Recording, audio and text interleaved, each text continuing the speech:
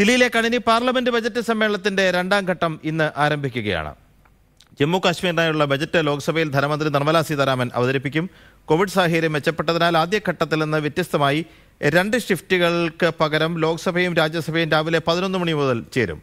യുക്രൈനിൽ കുടുങ്ങിയ ഇന്ത്യക്കാരുടെ ഒഴിപ്പിക്കൽ പണപ്പെരുപ്പം തൊഴിലില്ലായ്മ കാർഷിക വിളകളുടെ താങ്ങുവില പ്രൂഡന്റ് ഫണ്ട് പലിശ നിരക്ക് തുടങ്ങിയ വിഷയങ്ങൾ പ്രതിപക്ഷം സഭയിൽ ഉന്നയിക്കും. അതേസമയം നാല് സംസ്ഥാനങ്ങളിൽ ഭരണം നിലനിർത്താനായതിന്റെ ആത്മവിശ്വാസത്തിലാണ് കേന്ദ്ര സർക്കാർ ധനേഷ് രവീന്ദ്രൻ ചെയ്യുന്നുണ്ട് ധനേഷ് രാഷ്ട്രീയ കാലാവസ്ഥകൾ ഏറെ ബി ജെ പിക്ക് അനുകൂലമാണെന്ന് പാർലമെന്റിൽ പ്രതിപക്ഷത്തെ നേരിടുമ്പോൾ. പക്ഷേ ഏതാണ്ട് ആറ് കോടിയോളം വരുന്ന ഇടത്തര വരുമാനക്കാരുടെ പ്രധാനപ്പെട്ട സമ്പാദ്യമായ പി എഫിന്റെ പലിശ നിരക്ക് നാൽപ്പത് വർഷത്തിനിടയിൽ ആദ്യമായി കുറഞ്ഞു എന്നുള്ളത് പാർലമെന്റിൽ പ്രതിപക്ഷം ഉന്നയിക്കാൻ സാധ്യതയുണ്ട്. ഇതടക്കം എന്തൊക്കെയാണെന്ന് പ്രതീക്ഷിക്കുന്നത്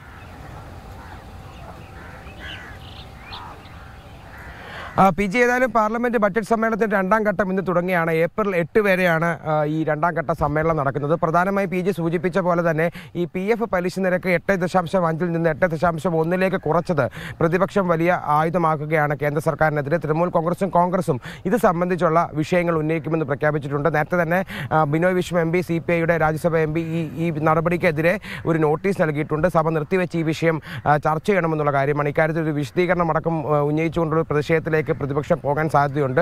പക്ഷേ യോജിച്ചുള്ള കഴിഞ്ഞ തവണ കണ്ട പോലെയുള്ള ഒരു പ്രതിഷേധത്തിന്റെ ഒരു സാധ്യത മങ്ങുകയാണ്. കാരണം തെരഞ്ഞെടുപ്പ് അടക്കം അഞ്ച് സംസ്ഥാനങ്ങളിൽ നടന്നപ്പോൾ നാല് സംസ്ഥാനങ്ങളിലും മികച്ച വിജയം നേടി ഉത്തർപ്രദേശ് അടക്കം നിലനിർത്തിയാണ് ബി ജെ പി തിരികെ എത്തുന്നത്. അതുകൊണ്ട് തന്നെ കേന്ദ്ര സർക്കാരിന്റെ ആത്മവിശ്വാസം ഇക്കാര്യത്തിൽ വർദ്ധിച്ചിട്ടുണ്ട്. അതേസമയം കോൺഗ്രസിന് കയ്യിൽ ഭരണമുണ്ടായിരുന്ന പഞ്ചാബ് അടക്കം പോയൊരു സാഹചര്യത്തിൽ മാത്രമല്ല ആം ആദ്മി പാർട്ടി അടക്കം മറ്റൊരു വലിയ കക്ഷിയായി ഉയരുന്ന ഒരു സാഹചര്യത്തിൽ യോജിച്ച പ്രതിപക്ഷ നീക്കം എത്രത്തോളം ഉണ്ടാകുമെന്നുള്ള കാര്യമാണ് നമ്മൾ ഉറ്റുനോക്കുന്നത്. പ്രധാനമായി ഉക്രൈനിൽ നിന്ന് ഇന്ത്യക്കാരടക്കമുള്ളവരെ തിരികെ എത്തിച്ചതിനെ സംബന്ധിച്ച് കേന്ദ്ര സർക്കാരിന്റെ ഒരു പ്രസ്താവന ഏതായാലും നമ്മൾ പ്രതീക്ഷിക്കുന്നുണ്ട്. അതേസമയം ഉക്രൈനിലെ രക്ഷാപ്രവർത്തനം അടക്കം കാര്യക്ഷമമല്ലായിരുന്നുവെന്നും അത് വൈകിയെന്നുള്ള ആരോപണമാണ് പ്രതിപക്ഷ പാർട്ടികൾ ഉന്നയിക്കുന്നത്. ഒപ്പം തന്നെ തൊഴിലില്ലായ്മ പണപ്പെരുപ്പ് അടക്കമുള്ള വിഷയങ്ങളും കേന്ദ്ര സർക്കാരിനെതിരെ പ്രതിപക്ഷ പാർട്ടികൾ ഏതായാലും ആയുധമാക്കുമെന്നുള്ള കാര്യം ഉറപ്പാണ്. അതേസമയം സഭ സമ്മേളനത്തിന്റെ മറ്റൊരു പ്രധാനപ്പെട്ട കാര്യം ജമ്മു കാശ്മീരിനായുള്ള പ്രത്യേക ബഡ്ജറ്റ് അലോക്കേഷനെ സംബന്ധിച്ചുള്ള ബഡ്ജറ്റ് അവതരിപ്പിക്കലാണ് ധനമന്ത്രി നിർമ്മല സീതാരാമൻ ഇത് അവതരിപ്പിക്കും. ഒപ്പം തന്നെ മണിപ്പൂർ മണിപ്പ ക്ഷമിക്കണം ത്രിപുരയിൽ നിന്നുള്ള വിഭാഗങ്ങളെ കൂടി.